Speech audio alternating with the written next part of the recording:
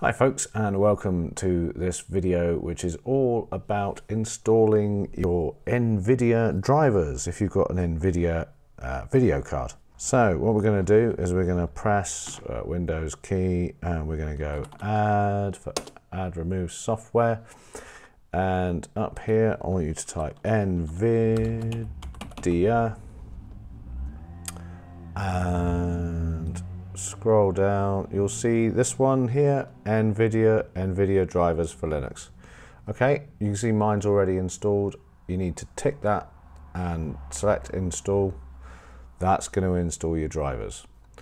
After we've done that, we need to go up to the terminal and we type sudo nvidia xconf xconfig. Right, the sudo uh, tells us or tells the computer that I want to run this command as an administrator. So it's going to ask for our password. Um, otherwise, it just wouldn't allow you to run this. So there we go, password. And it's done a new configuration file. Uh, so what that's done is basically has told X, which is the graphics sort of system in Linux, um, everything it needs to know in order to use the uh, NVIDIA drivers.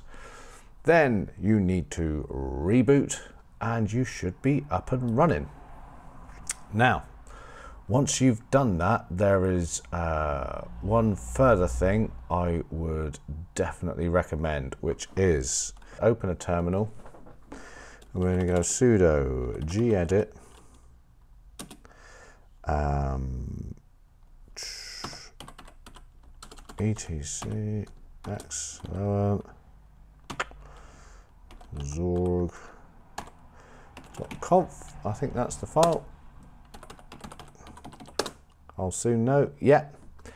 And in this file I want you to go down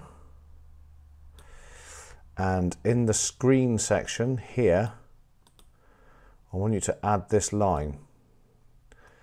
Okay now what this does is it stops some screen tearing issues um, and it makes the graphics nice and smooth.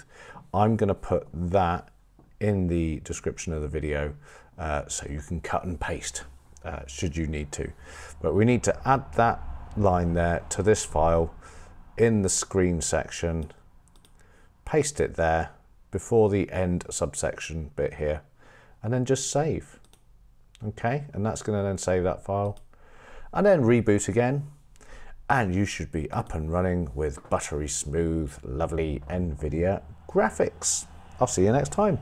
Cheers.